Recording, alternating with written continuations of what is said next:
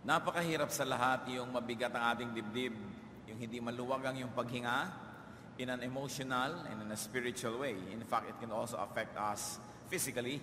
When we don't feel good, even our chest registers the pain. Mahirap na masikip ang dibdib at ito ay labag sa kalooban ng Panginoong Hesus. Sabi niya sa Mateo 11, 29, Matatagpuan ninyo sa akin ang kapahingahan at sa verse 30, sapagkat madaling dalhin ang aking pamatok at magaan ang pagang dibdib ng tao at gumaan ang kanyang buhay. Juan 14, isa, huwag na kayong mabalisa. Mahirap ang nababalisa, nawawala ng gana, nawawala ng tulog, napupuyat, hindi sumasaya. Ang ating pag-aaral upang tamasahin ang pagpapalang niloloob ng Panginoong Hesus para sa lahat kung mabigat ang loob. Salamat o Diyos sapagkat kayo ay nagmamahal sa amin, nais niyong gumaan ang aming loob, ang aming dalahin at sumaya ang aming buhay. Patawarin niyo po kami sa aming mga kasalanan. Pagaanin niyo ang aming paglapit sa inyo, O Diyos, at nawa buksan niyo ang aming isip nang maunawa namin ang nakakapagpalayang mensahe na sa inyo namin hinihingi.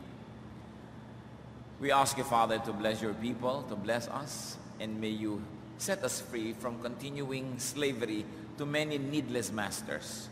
Nawa, Panginoon, ang inyo pong pagpapala ay sumagana sa aming kalagitnaan. Ang salita niyo maunawa namin. Hinihiling namin, Ama, na kayo pong magsalita, mangusap, maging tagapangaral, at nawa ay matungtungan ng inyong paang inyong lingkod at maitaas namin kayo. Dumaloy sa amin ang iyong pagpapala at kami ay maliwanagan ng iyong karunungan. Ilalayo nyo kami sa mga tukso, sa mga pandaraya ng kaaway, maging sa mga gawa ng masasamang tao at masasamang espiritu. Pagpalain mo kami, ang aming mga tahan at mahal sa buhay, at mga iba naming mga alalahanin na hindi namin ngayon naasikaso. Nawa, Panginoon, yung aming mata, ang aming tainga, ang buong puso, maituon sa inyo, at kayo naman, Panginoon, ay magsabog ng biyaya sa aming lahat. Dalangin namin ang lahat ng ito sa pangalan ng aming tagapangaral, sa pangalan ng aming tagapagligtas at iyong anak na si Jesus. Amen. Ano nga po ba ang mga nagpapabigat ng loob ng tao? At ang lahat po ng ating mga verses na babasahin ay galing sa ang bagong magandang balita, Biblia. Ang mga pampabigat ng loob. Juan 16:33 Sinabi ko ito sa inyo upang kayo magkaroon ng kapayapaan sa pakikipag-isa sa akin. Madaranas kayo ng kapighatian sa mundong ito, ngunit tibayan ninyo ang inyong loob na pagtagumpayan ko na ang sanlibutan. Ang salita po ng Panginoong Hesus ay gusto niya na magkaroon tayo ng kapayapaan sa ating pagiging kristyano. Sa pakikipag-isa natin sa Kanya, sa ating espiritualidad, gusto niya kapayapaan ang dulot nito, hindi gulo. Sabi, natural, makakaranas kayo ng mga kapighatian sapagkat kayo nabubuhay sa isang magulo at maruming daigdig. Pero huwag kayo mag-alala, sapagkat natalo ko na, napagtagumpayan ko na ang lahat ng yan. At kung kayo nakikipagkasundo sa akin, nakikipag-isa, ay magkakaroon kayo ng gantimpala na nadadala dahil sa tagumpay na akin ang nakamit para sa inyo. Kung ating gagawing uh, makikita ang sinasabi niya dito sa Juan 16, may itong ito yon. Ang gusto ng Panginoon, tahimik ang buhay ng tao at magaan. Ano ang mga pampabigat ng loob? Ating iisa-isahin ng ilan at nang makilala natin kung ito'y totoo sa, totoo sa ating buhay at nagpapabigat sa ating kalooban. Una, pagkakasubo o mga kompromiso. Yung bang, uh, sabi mo, bakit ba ako naka-oo sa hindi ko dapat oohan? Bakit ko ba natanggap yung imbitasyon? Bakit ko ba nasabing oo gagawin ko sa matalang ayoko namang gawin? Bakit nga ba ako napasubo? Yung pagkakasangkot sa talagang di gusto, mabigat yan sa kalooban ng tao. Kung minsan nasangkot tayo dahil nadala lang sa kantsaw, sa pakiusap, o sa pamimilit ng kapwa at panggigipit ng iba. Napasubo ko minsan dahil sa yabang, o dahil sa hiya, o napahiya, o ayaw mapahiya, at kung ano-ano pang dahilan. Yan pong napapasubo ng hindi naman buong-buo nating gustong gawin, mabigat sa kalooban yan. Napasubo sige, paaaralin ko yung anak mo, sabi mo sa iyong kaibigan, tapos napasubo ka. Wala pala silang kwentang tao, hindi ka ngayon makalaya. Pati yung mga sabi, o sige, papakasal lang kita, tapos nag-iisip ka ngayon, ikakasal ka na lang bukas eh, nagdadalawang loob ka pa. Mahirap yung pagkakasubo na yan. Tapos mo, na-imprenta na kasi ang imbitasyon. Yung napasubo ka sa mga sinasabi, kayong mga tao matatabil, madadaldal, madalas mapasubo yan eh. Kaya mabigat ang loob. Isa pa pong pampabigat ng loob, mga kapatid, pananagutan. Responsibilidad sa buhay. Nakakapagpabigat ng loob yung napatong sa yung balikat, ang napakaraming mga responsibilidad. May mga responsibilidad na gusto o ginusto natin, pero nakakapagpabigat pa rin yun ng loob kahit gusto. Lalong-lalo na kung di gusto.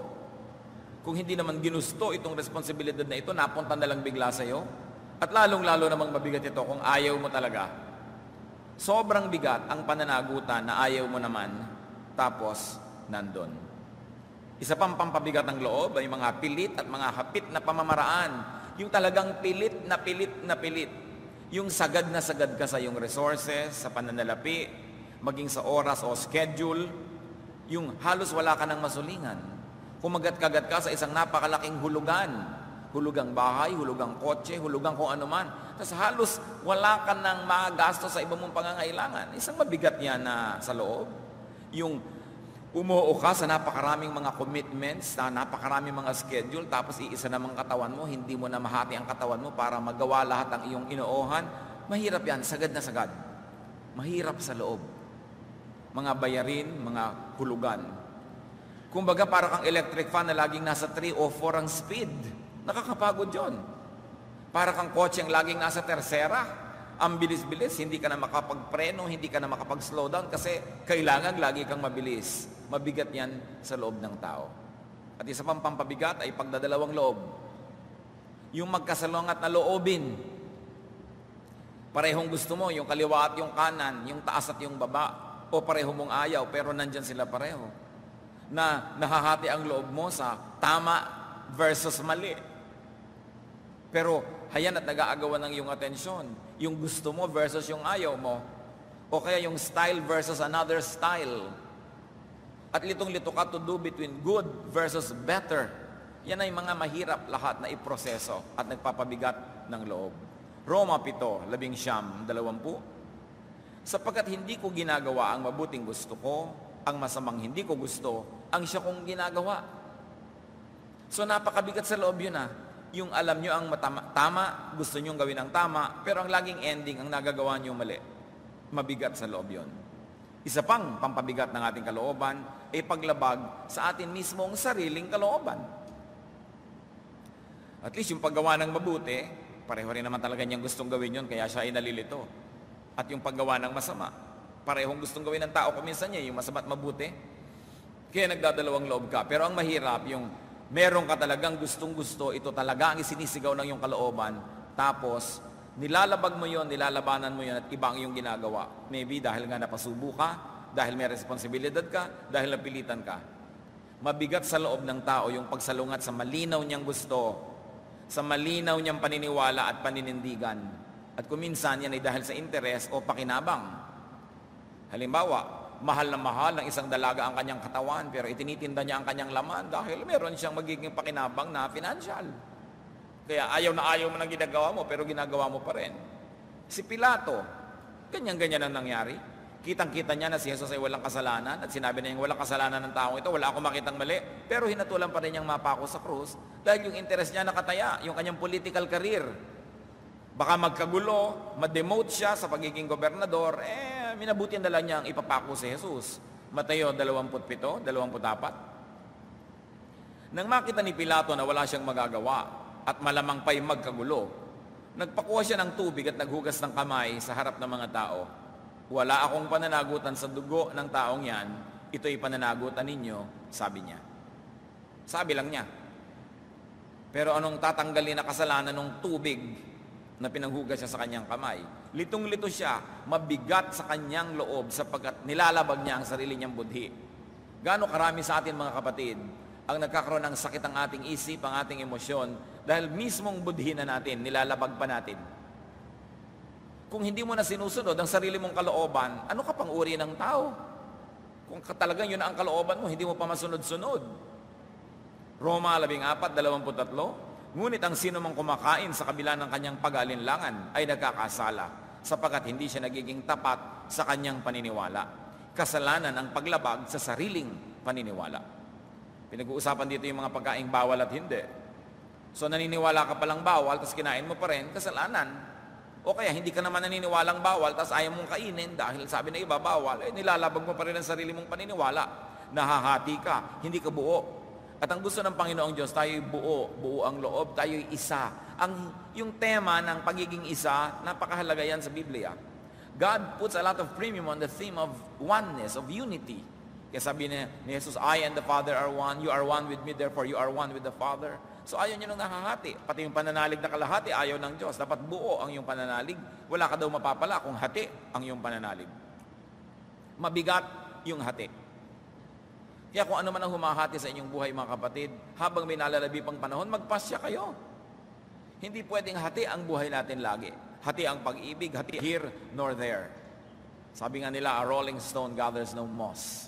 Kailangan manahimik ka doon para magkaroon ka ng lumot na tutubo sa iyo kung gusto mong meron, kung ikaw ay bato. Ano po ang mga pampagaan ng loob sa buhay? At muli, pinag-uusapan natin ang lahat ng ito dahil ang kalooban ng Panginoong Hesus, ang kanyang mga anak ay magaan ang loob. Magaan ang pasan. Yan ang blessing na dala niya. Kung ikaw na Kristo na, bigat-bigat pa rin ang loob mo, may dapat kang gawin kapatid dahil hindi ka nagkakaroon ng benepisyo doon sa gusto ng Panginoong Hesus na maranasan mo sa buhay. Para gumaan ang loob, una, alamin at tiyakin, suriin kung ano ba ang niloloob natin. Ano ba talaga ang ating pinaniniwalaan? Ano ba talaga ating ibig? Ano ba ang uunahin sa buhay? Ano ang pagtutuunan ng pansin? Ano ang ipamumuhay natin? What are we going to stand for? Kailangan malinaw na yon. Pag ang tao lampas sa 20, 25, 26, 27, dapat alam na niya kung ano siya, sino siya, anong gusto niya sa buhay, Anong titindigan niya? Anong ipaglalaban niya? At ano yung palalampasin na lang niya? Santiago 5, labing dalawa, sapat nang sabihin ninyo oo kung oo at hindi kung hindi. Ibig sabihin malinaw. Malinaw sa iyo kung anong gusto mo tayo mo at malinaw din sa iba at nililinaw mo yun. Para yung oo mo, oo na, alam nila. Yung hindi, hindi. Hindi yung hindi mo, mamaya, nahihikayat kang gawing oo. Ayaw ng kalooban mo, nag-oo yung bibig mo, pinagbibigyan mo yung iba, ang tinalikuran mo, yung sarili mong paninindigan sa buhay. So ikaw ngayon itong hindi makatulog, pabiling-biling ka sa higaan, ikaw na wala ng ganang kumain, at yung inoohan mo, sarap na sarap, dahil nakuha niya sa iyo yung oong gusto niya, na ayaw mo namang ibigay. Kailangan malinaw sa iyo kung alin ang oo, alin ang hindi. Josue 24.15 At kung ayaw ninyong maglingkod kay Yahweh, Pumili kayo kung ngayon kung sino ang inyong paglilingkuran. Ngunit para sa akin at ang aking sambahayan, kay Yahweh kami maglilingkod, sinabi ni Joshua. Sabi, magpasya kayo.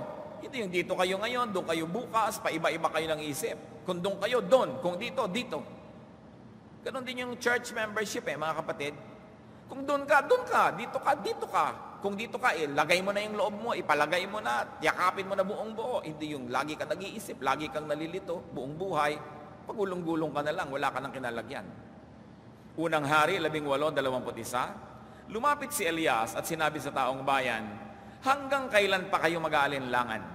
Kung si Yahweh ang tunay na Diyos, siyang sundin ninyo. At kung si Baal naman, kay Baal kayo maglingkod. Okay sa gitna. Be certain about your will Be certain about your belief and stand for it. As a person who stands for nothing will fall for everything. Pag wala kang pinaninindigan, lagi kang matutumba, lagi kang mahuhulog, lagi kang madarapa. Pampagaan ng loob mga kapatid, sundin ang kalooban, lalo na't mabuti. Huwag hatiin ang loob.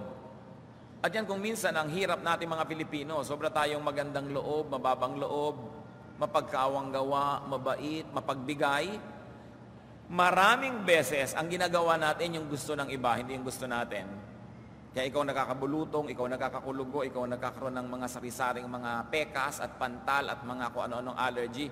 Kasi kalaban mo yung sarili mo. Hindi yung gusto mong nagagawa. Lagi ka nalang sunod-sunuran, mapagbigay.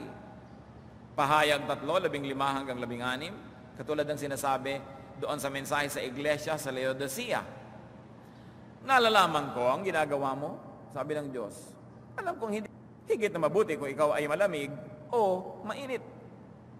Ngunit dahil sa ikaw ay maligamgam, hindi mainit ni malamig, isusuka kita.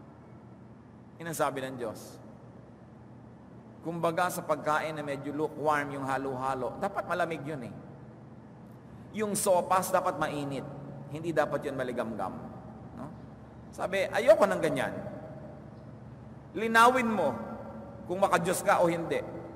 Mas madali pa malinaw na kasalanan ka o malinaw na malinaw na banal ka kesa palipat-lipat ka doon sa dalawa. Nakakalito yon. Alubog, alam niyang makas...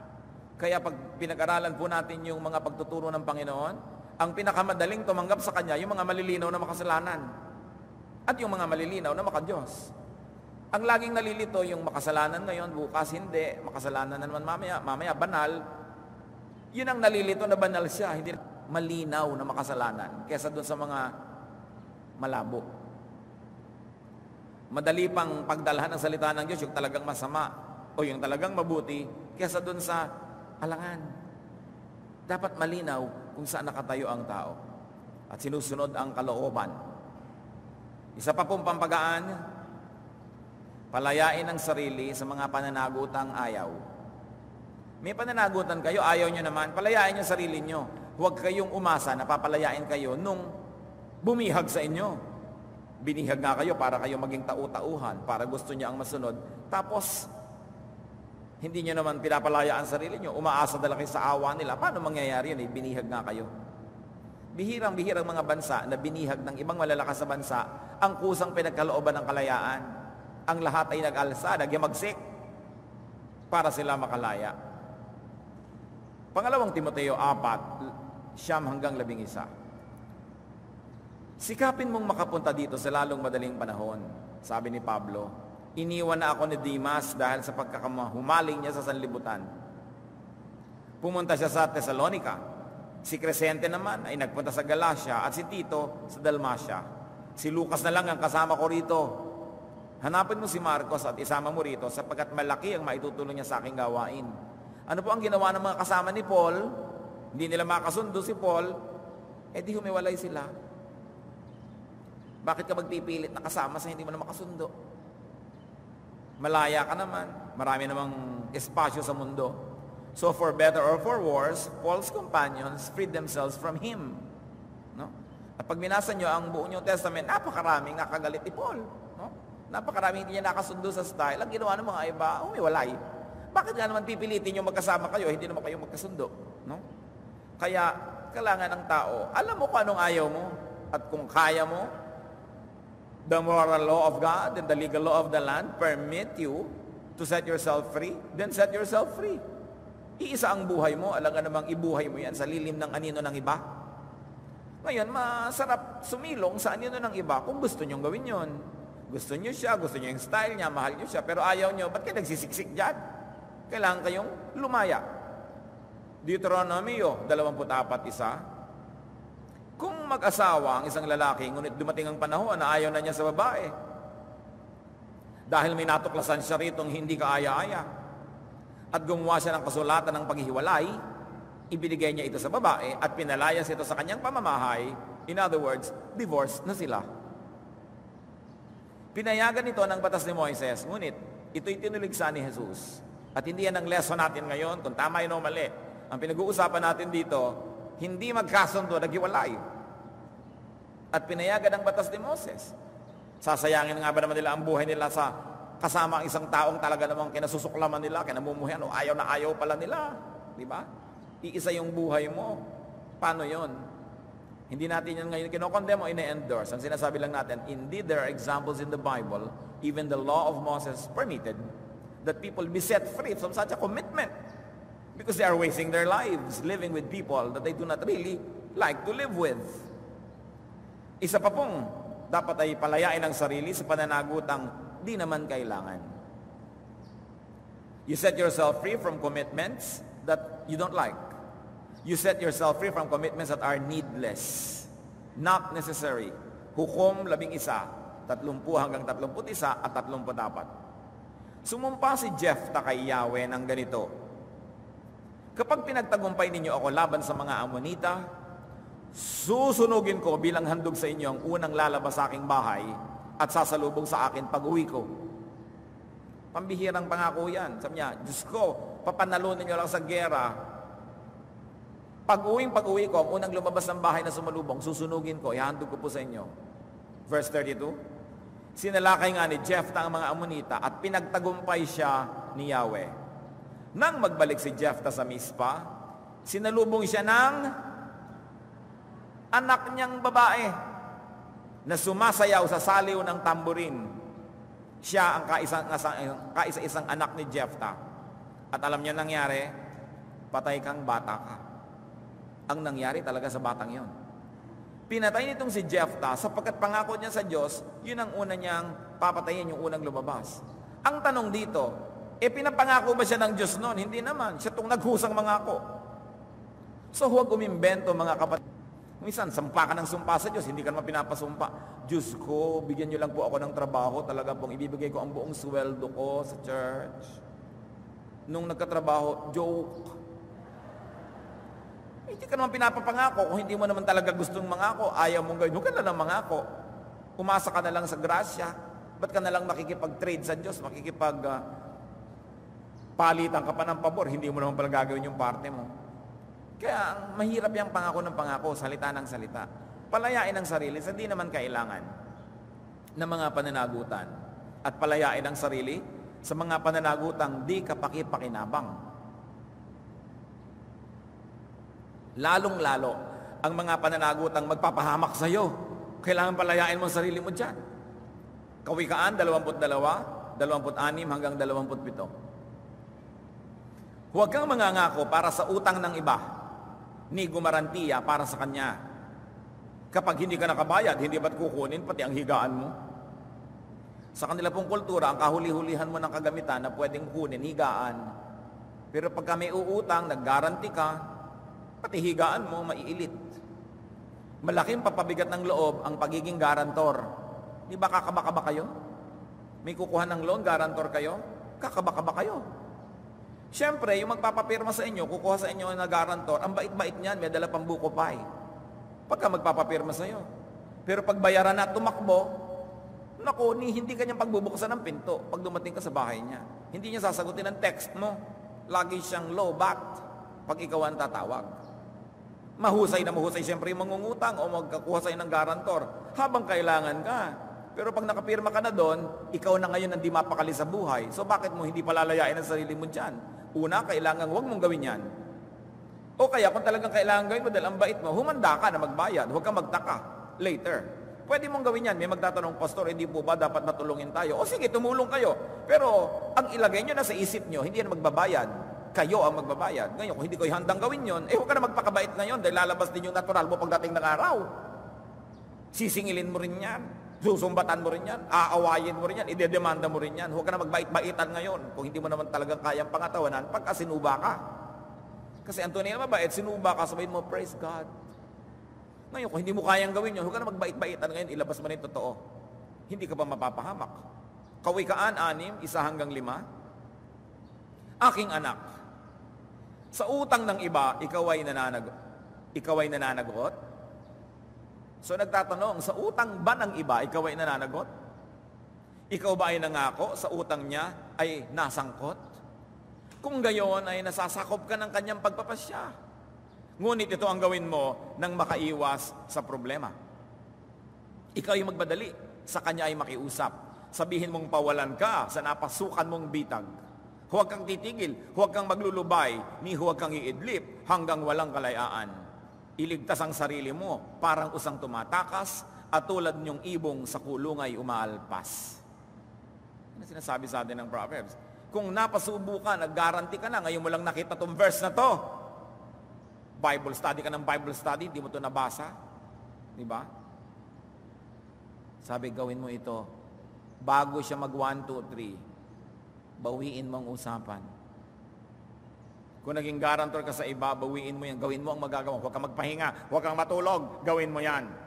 Dahil pag hindi mo ginawa yan, hindi ka rin makakapagpahinga, hindi ka rin makakatulog dahil napahama ka. So gawin mo na ngayon. Kailangan din mga kapatid, palayain ang sarili sa mga tao, sa mga sitwasyon at mga kalagayang pampabigat sa iyo. Mga taong mapaniil, mapangalipin, people who consume you, You must set yourself free from people who consume you.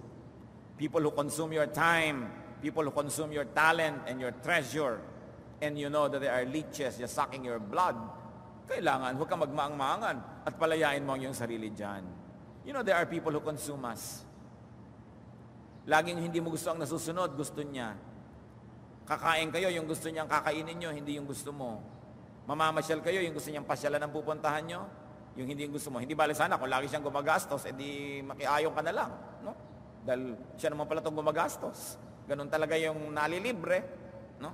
Kung ang gusto niya halo-halo, kahit namamalat ka, kain ka naman ng halo-halo. Libre naman eh. Kaya kung gusto mong may kalayaan ka, huwag ka nagpapalibre.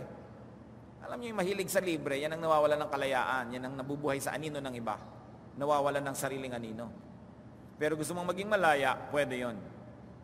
Sa katunayan, yun ang mensahe ng New Testament, kalayaan. Galatia 5.1, Malaya na tayo dahil pinalaya tayo ni Kristo. Kaya magpakatatag kayo at huwag nang paalipin pang muli. Paalipin saan? Sa kasalanan. At kung i-stretch natin yung application, paalipin din sa kapwa-tao dahil isa na lang ang Lord, si Jesus. Bakit ka papaalipin sa iba? Pero pag naghahangad ka lagi sa kayamanan ng iba, magiging alipin ka. Kaya yun pong walang paghahangad sa kayamanan ng iba, kahit siya mahirap, hindi siya alipin. Dahil hindi ka slave of your desire. Juan 8.3 Dumating noon ang mga tagapagturo ng kautusan at mga pariseyo na may dalang isang babaeng nahuli sa pangangalon niya. Iniharap ito sa karamihan at sa katunayan ay gustong batahin, batuhin hanggang mamatay.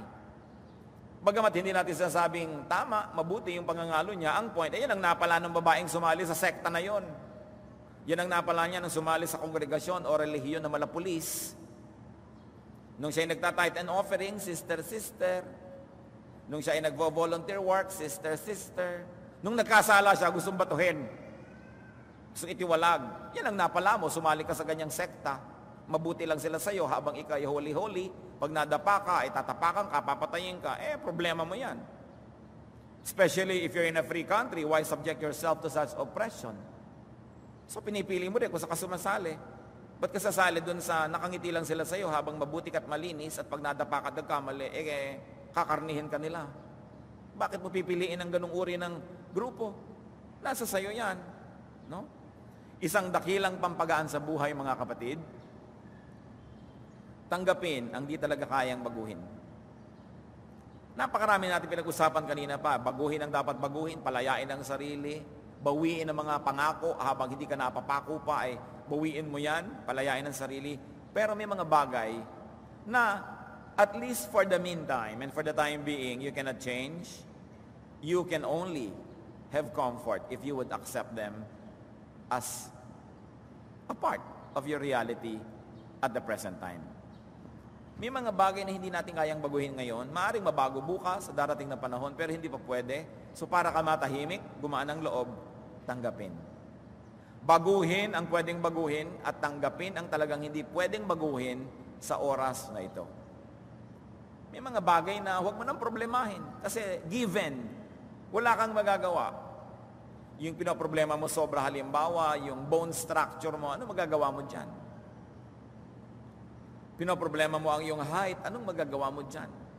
Sobrang mong pinoproblema yung genetics mo, na kayo'y lahi na nagkakaroon ng hika, eh talagang ganon, anong magagawa mo? Meron kayo sa lahi nyo na ganito at ganon, lahi kayo ng mga laging nadadala sa Mandaluyong. Oh, edi magbaon ka ng makakain mo pag nadala ka doon. Eh, yan ang realidad mo eh. No? Unang Korinto 7, 21, ikaw ba isang alipin nang tawagin ka ng Diyos? Huwag mong intindihin yon. Ngunit kung may pagkakataon ka maging isang malaya, samantalahin mo. Nakita yung principle? Meron kang hindi kayang baguhin, tanggapin mo na lang. Pero habang kaya mo, di baguhin mo. Pero kung talagang di kaya, huwag kang sumuntok sa pader. Huwag kang sumuntok sa buwan. Walang mangyayari, mapapagod ka lang. Filipos 4.11, natutunan ko ng masyahan, maging anuman ang aking kalagayan. So do your best, and then enjoy the rest. Accept what cannot be changed. Pampagaan ng loob, piliin ang mas magaan sa mga magkasalungat na kagustuhan at mga magkasalungat na kabigatan. Halimbawa, meron kayong options, nalilito kayo, piliin nyo na lang kung ano yung mas madali. Kahit naman alin ang piliin mo. Litong-lito ka dalaga sa dami ng manliligaw, pare-pareho lang naman silang umiibig sa'yo, eh di ang tanggapin mo yung iniibig mo. Kung sabihin kawawa naman siya, di ba? So, ibibigay mo ang iyong puso. Eh, paano kami rapist na nagnanasa sa'yo? Kawawa naman, pagbigyan mo na. Huwag mo ipapamigay ang sarili mo dahil naaawa ka. No, hindi mo ginagawang charity yan. Make the best choice. Binigyan tayo ng Diyos ng utak para gamitin. Deuteronomio 30, labing siyam. Saksi ko ang langit at ang lupa na ngayon inilalahad ko sa inyo ang buhay o kamatayan at ang pagpapala o sumpa. Kaya piliin ninyo ang buhay para kayo at ang inyong lahi ay mabuhay ng matagal. So what was being offered to the people? Good or bad? Life or death? Sabi, pumili kayong mabuti. Life is a matter of pasya ko sa sarili, ako'y maging masunurin. Sa batas mo, ang pansin ko ay doon ko ibabaling. Ito isang pasya. Magpapasya ka maging makadiyos o makademonyo. Totoo, mahirap maging maka, mabuti, pero mahirap din namang maging masama eh. Pareho lang mahirap yan, dito ka na sa mabuti. Pag pareho lang mahirap, ang gawin niyong mabuti, huwag nang malito pa. Filipos 1, 23 hanggang 24. Sabi ni Pablo, may pagtatalo sa loob ko. Gusto ko nang pumanaw sa mundong ito upang makapiling ni Kristo, sapagkat ito ang lalong mabuti para sa akin. Ngunit alang-alang sa inyo, mas kailangan pang manatili ako sa buhay na ito. Sabi niya, mamatay ako, gusto ko na, kasama ko na ang Diyos. Pero kailangan niyo pa ako, so mabubuhay pa ako dito para sa inyo. So these are choices, no? At pampagaan ng loob, number five, mas gawin ang magaan sa loob. Mas magawin ang nagpapagaan ng loob. Anong ibig natin sabihin mga kapatid? Araw-araw, pipili ka kung magiging malungkot ka o masaya kung magiging mahigpit ka o mapagbigay, pipili ka upang maging mabuti ka o masama, ang piliin mo yung mas magpapagaan ng buhay. Yung mas magpapasarap ng buhay. At sabi ng mga ngaral, siyam, siyam. Magpakaligaya ka sa piling ng babae yung minamahal habang ikay nabubuhay sa mundong ito. Sapagkat iyon ang iyong bahagi at bunga ng iyong pinagpaguran sa maikling buhay na ito. So may choice ka, magpaligaya ka, magpakaligaya ka sa piling ng iyong asawa. Pwede ka rin namang makipagpaligaya sa piling ng iyong kulasisi. Pero hati ka, di ba? Katulad yan, malapit na naman ang Valentine's Day, o ano, may post-Valentine, may pre-Valentine date ka, may pang February 11. Ngayon, kung January 31, ka-date ka na, ang layo mo naman sa tunay na petsa, siguro number 7 ka lang. So bakit mo ibibigay ang buong-buong buhay mo sa isang taong kalahati lang niya ang binibigay sa iyo? Di ka balugi nun? Eh kung one-fourth lang niya. So kailangan ng tao, kanya ring pinagtatagumpayan ng kanyang emosyon. Naman, na kasi ang loob ko. Hulog na hulog na ang loob ko nung malaman kong pito na pala ang asawa niya. Kaya pwede na sa akin ikawalo. Nahulog pala yung loob mo, di umahong ka. Di ba? Bumangon ka, sa tulog ng Diyos, makakaahon ka dyan. Huwag mong ibigay ang buong buhay mo sa taong hindi ka naman niya nasusuklian ng buong buhay din niya. Lugi ka. Lagi ka na lang na ang Pasko mo sa Three Kings, eh wala na sa kalendaryo yung Three Kings ngayon. Diba? Lagi ka na lang pang bisperas. So paano yun? Lugi ka. Mga ngaral, tatlo labing dalawa, alam kong walang pinakamabuti sa tao kundi magpakaligaya at gawin ang pinakamabuti habang siya'y nabubuhay. Mabuti naman magkasunod ng sinabing magpakaligaya at magpakabuti. Kasi ibig sabihin, pwera yung pagpapakaligaya sa hindi mabuti. Pero sabi niya, basta mabuti o basta hindi masama, magpakaligaya ka. Sasandali ang buhay mo, maglulungkot-lungkot ka pa. Ang daming sine, 1, 2, 3, 4, doon ka papapasok sa iyakan. Uuwi ka, mabigat ang loob mo, namumugto ang mata mo matapos mo magbayad. Eh, pinili mo maging malungkot. Problema mo yan.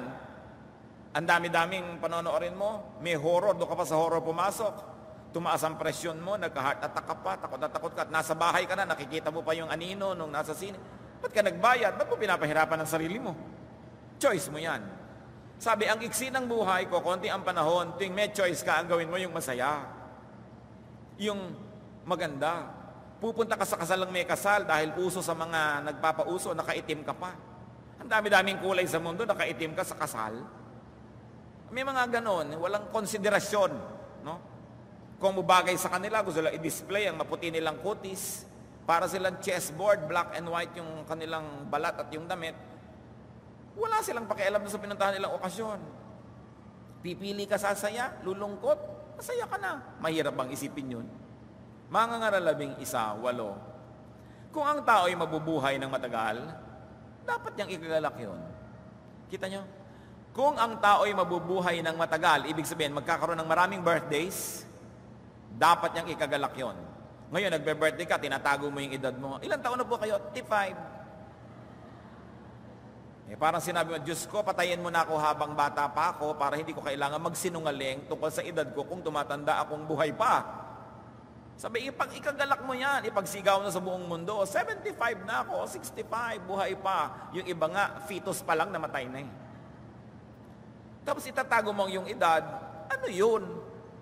Ikagalak mo yung buhay mo, sabi ganon. Yung, hi, buhay. Ba't kayo bumubuntong hininga at buhay pa kayo? Di ba dapat ipasalamat yan?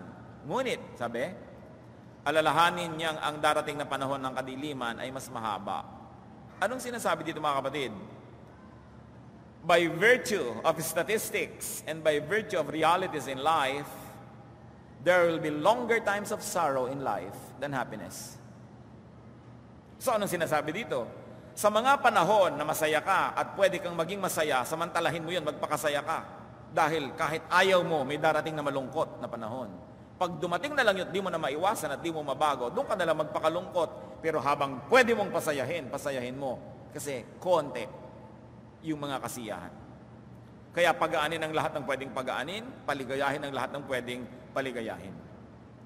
Kung mabigat ang loob, madalas may alagang lihim, may alagang kasalanan, may alagang atraso. Ma lakas magpabigat ng loob yung alaga mong atraso. Kaya ang sabi sa awit 32, isa hanggang lima, mapalad ang taong pinatawad na ang kasalanan. Nang hindi ko pa naihayag ang aking mga sala, ako'y nanghina sa maghapong pagluha. Sa araw at gabi, ako'y iyong pinarusahan. Wala nang natin ang lakas sa katawan, parang hamog na natuyo sa init ng tagaraw. Kaya't ang kasalanan ko'y aking inamin, mga pagkakamali ko'y hindi na inilihim.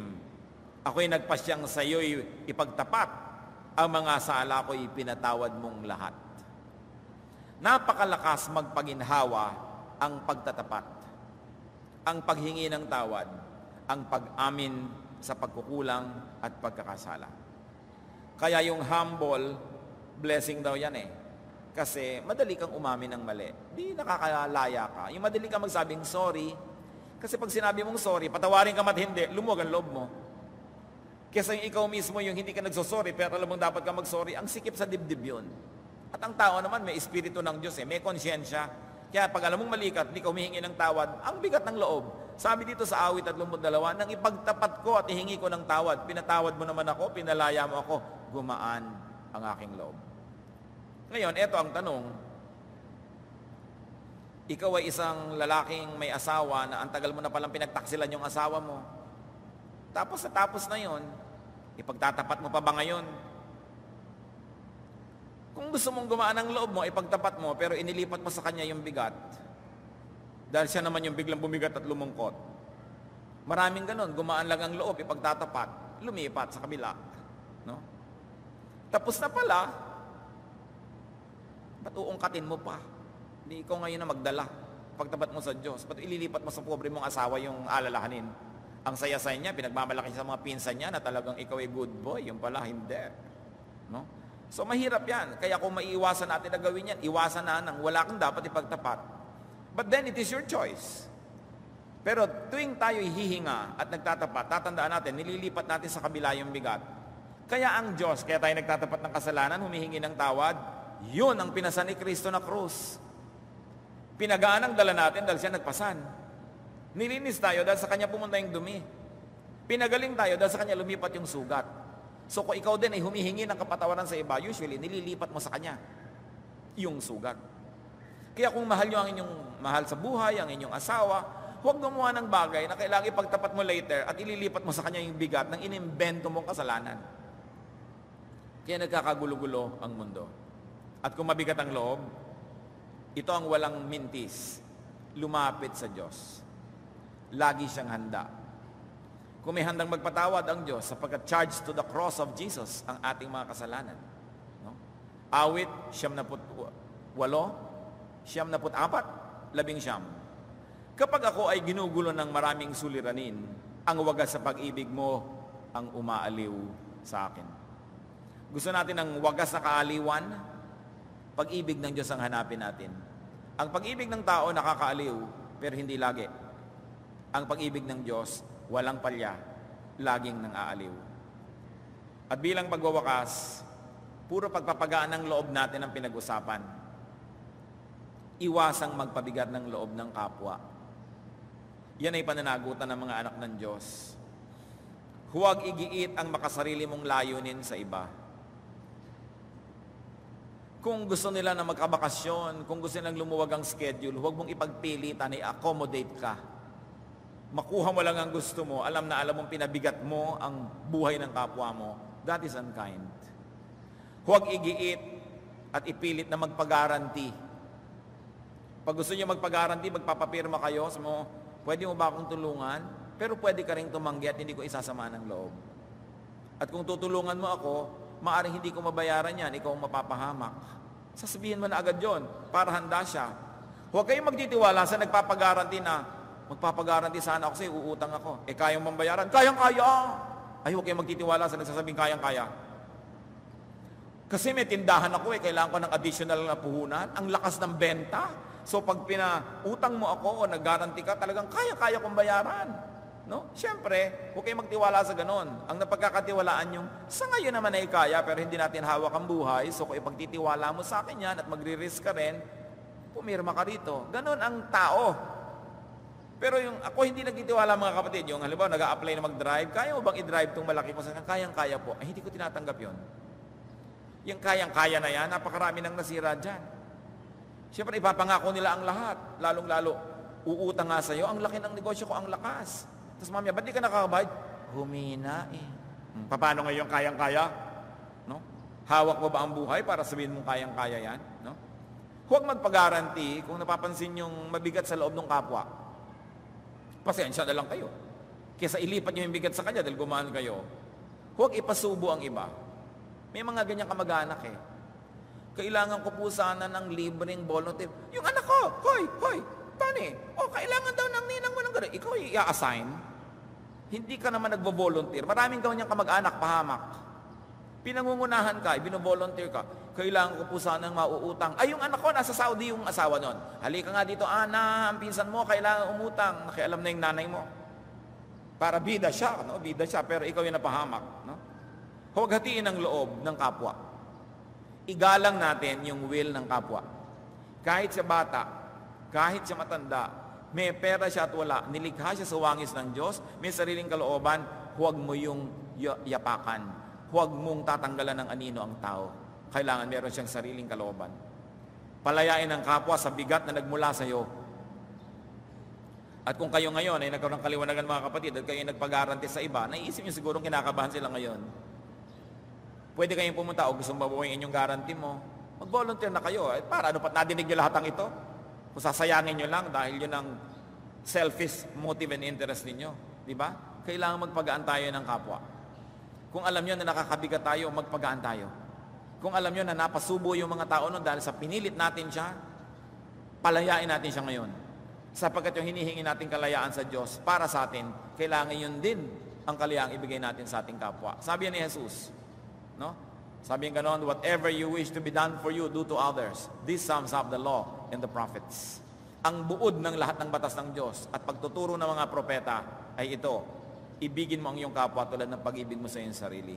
At gawin mo sa Kanya ang nais mong gawin ng buong mundo sa iyo. At mga kapatid, meron pa tayong isang pwedeng-pwedeng gawin na pagpapagaan sa kapwa. Magpatawad tayo.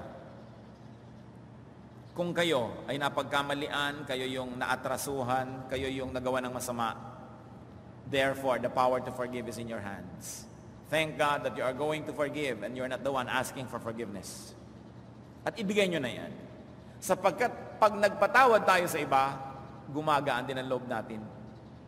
Nakakalaya din tayo sapagkat bawat tao na hindi natin pinapatawad ay nagiging bilangguan din natin. nagiging bihag din nila tayo. So talagang sa pagpapatawad, lumalaya ang lahat, yung nagkamali at yung naging biktima. Pagkaanin ng buhay. Diyos namin sa langit, kayo na nakakaalam ng buhay ng bawat isa at nakakaalam ng kanyang kabigatan na aming pinapasan. Turuan mo nga kami na hindi lang dinggin o nawain ang iyong salita, kundi sundin ito.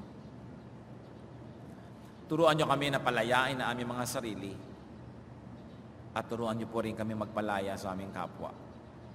Kung kami nagiging dominante, kami yung may kapangyarihan, kami yung may pera, kami yung mayroong impluensya, tulad mo, O Diyos, na kayo talaga ang makapangyarihan. Sa inyo lahat ang pera, sa inyo lahat ang impluensya, pero hindi nyo kami pinangungunahan.